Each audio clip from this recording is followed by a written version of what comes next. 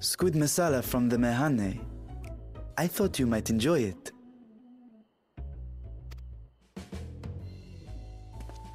Masala, eh? I prefer my squid dried. But I'm sure it won't disappoint. My thanks.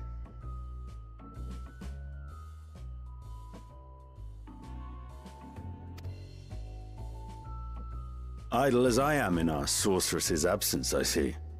I can't offer much in the way of entertainment, but make yourselves comfortable.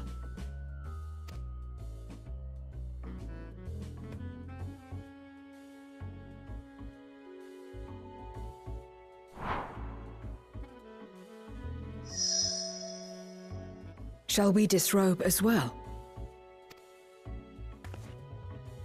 No, no. We simply caught our friend unprepared.